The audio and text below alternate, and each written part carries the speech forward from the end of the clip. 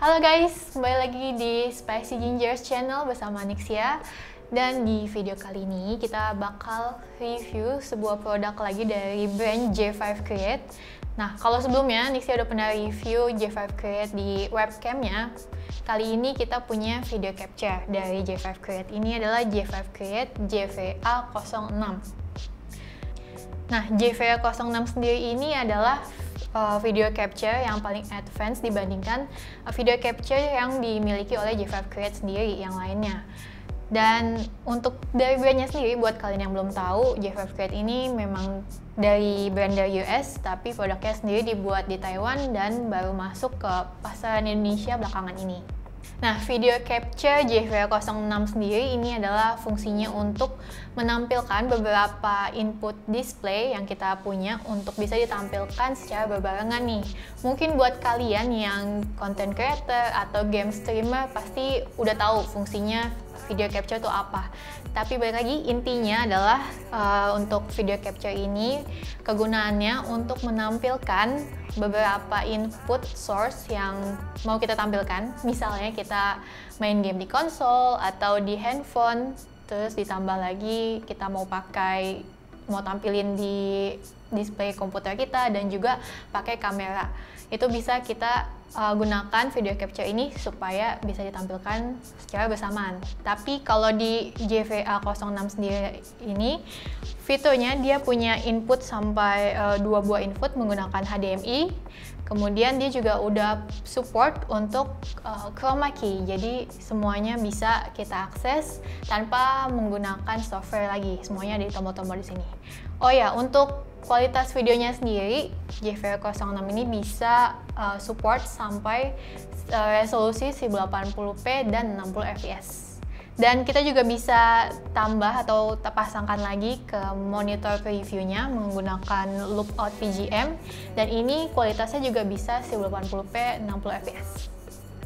Nah, menurut saya sendiri sih penggunaan dari JVA 06 ini udah simple banget ya, karena kita nggak perlu software yang bagi sebagian orang mungkin agak males dan ribet buat atur-atur capture-nya melalui software. Jadi di sini kita bisa langsung akses saja menunya, konfigurasinya melalui unitnya ini. Di mana di tombol-tombolnya ini ada di sebelah kanan ini ada untuk mengatur tampilan displaynya jadi ada tombol A, tombol AB, tombol BA dan B yang nanti bakal kita Nixia praktekin sendiri kita, kita lihat sendiri gimana fungsinya. Kemudian di tombol-tombol sebelah kirinya ini ini adalah untuk uh, audio. Jadi kita bisa um, punya tiga input audio dan bisa kita aktif dan nonaktifkan. Kita bisa pilih mana aja yang bakal dinyalain atau dimatikan. Mau nyala semua juga bisa mau dimatikan semua juga bisa atau pilih beberapa aja. Dan nanti juga bakal ada indikatornya lampu-lampu indikatornya di uh, device-nya ini kalau udah dinyalakan dan lanjut ke desain fisiknya untuk desain fisiknya sendiri ini kotak kotak ini aja simple minimalis dan warna hitam. Dia punya bahan enclosure-nya bahan aluminium. Kemudian di bagian belakangnya ini ada logo brand G5 Create dan tulisan FP2. Untuk portnya di sebelah kiri sini ada untuk port inputnya yaitu dua buah HDMI, HDMI A dan B, kemudian juga ada audio inputnya. Dan di sebelah kirinya, di sini terdapat dua buah port USB Type-C. Yang pertama ini untuk power in, di mana ini untuk daya dari video capture ini sendiri.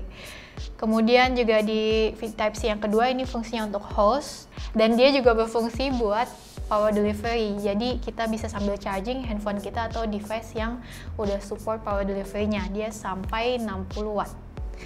Lalu ada port untuk audio out yang bisa kita gunakan sebagai monitoring audionya dan juga ada HDMI out untuk PGM atau loop outnya menggunakan HDMI. Kemudian di bagian atas dan bawahnya ini ada uh, lubang untuk cold shoe, jadi bisa kita pasangkan di tripod sesuai kebutuhan kita. Nah, untuk paket penjualannya sendiri di dalam box J5 Create JVA06 ini, kita bakal dapetin unitnya sendiri, kemudian juga dapat kabel USB Type-C to C, USB Type-C to A dan juga kabel HDMI to HDMI-nya.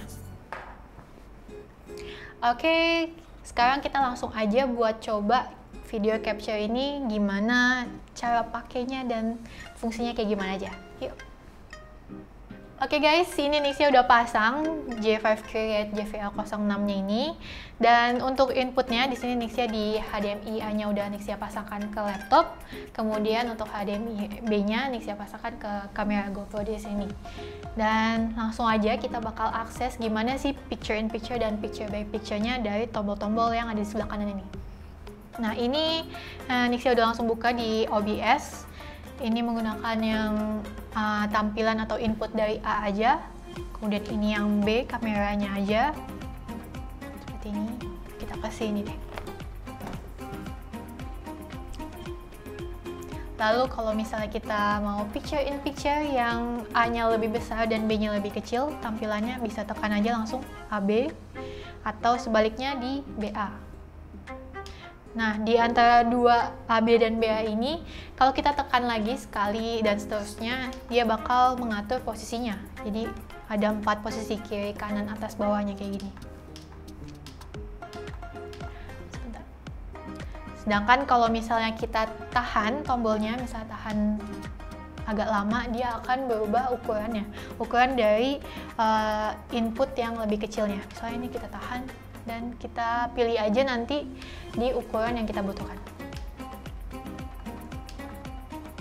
Nah ini untuk yang BA-nya jadi kameranya lebih besar dan tampilan di uh, laptopnya yang lebih kecil yang di dalam. Oke, lalu untuk picture by picture kita bisa aksesnya dengan menekan dua tombol A sama B-nya secara bersamaan kayak gini. Ini juga ada dua mode. Yang pertama ini mode untuk full screen-nya, jadi eh, nggak uh, akan ada yang terpotong di antara dua input ini, dua source. Kalau kita tekan lagi, dia akan ke mode yang uh, fill, fill kiri kanannya, lebih ke zoom. Oke. Okay. Dan untuk kalau kita mau mengakses uh, fitur chroma key-nya, kita juga bisa dengan menekan, menahan tombol AB dan BA-nya secara bersamaan selama 2 detik. Nanti dia akan tampil indikatornya chroma key-nya on atau off. Dengan catatan pastinya untuk pakai chroma key ini kita jangan lupa untuk pakai green screen di belakang kamera kita, di belakang kita. Oke, kita buka yang dan untuk audionya di sini udah kelihatan ya, di sini ada indikator audionya uh, dan ini adalah dari HDMI B-nya atau dari kamera. Dia bakal nyala uh, ukuran volume dari audionya dan kalau kita mau matikan juga bisa tinggal switch aja di switchnya di sini. Dan menurut Nixia sih fitur-fitur ini, fitur picture in picture seperti ini berguna juga buat misalnya dosen atau guru yang sekarang ini lagi banyak ngajar online. Jadi misalnya ada guru yang punya atau punya kamera dengan kualitas yang lebih bagus dan juga pengen sambil menampilkan uh, dari kamera dan juga presentasinya dengan kualitas yang lebih bagus dan bingung kayaknya pakai nampilin menghubungkan kameranya pakai apa bisa banget nih pakai capture video capture dari J5 Create ini. Nah, di sini saya mau tunjukin gimana menampilkan video capture-nya si J5 Create ini ke meeting kita. Contohnya nih menggunakan Zoom. Nah, jadi di Zoom ini nanti kita bakal pilih aja di setting videonya di sini ada pilihan misalnya J5 Capture jadi kita pilih yang J5 Capture ini. Nanti dia langsung menampilkan hasil output dari uh, J5 Create ini. Dan untuk tampilannya seperti biasa kita bisa tekan tombol di sini sesuai yang kita butuhkan yang kita mau tampilkan yang mana. Picture in picture atau yang picture by picture. Kayak gitu. Nah ini pastinya berguna banget buat pengajar, dosen atau guru yang pengen menampilkan input dari uh, dari device lain, misalnya dari handphone, dari tablet atau dari laptop lainnya selain uh, PC atau selain laptop yang digunakan untuk Zoom meetingnya sendiri. Udah gitu pemasangannya juga gampang banget, kita nggak perlu uh, repot-repot pakai software, tinggal uh, pencet aja plug and play pakai uh, video capture ini. Nah, pastinya dengan menggunakan video capture ini bakalan bisa bikin presentasi kita tuh lebih kelihatan profesional lagi. Jadi bisa nampilin kamera yang bagus dan juga presentasi dari device yang berbeda-beda juga.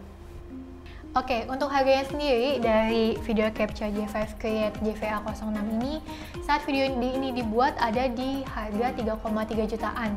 Menurut saya sih ini agak pricey, tapi cukup worth it juga buat kalian yang memang membutuhkan uh, video capture, yang butuh untuk input beberapa source.